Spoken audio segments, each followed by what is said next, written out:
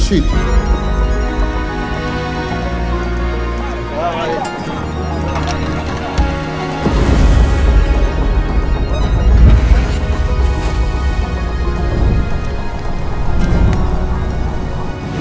إخواني وأخواتي هذه النقلات والقفزات هي ثمرة العمل المتواصل والجهد الدؤوب والنجاح الباهر وبودي يعني أن أخص بالشكر كل فرد منكم.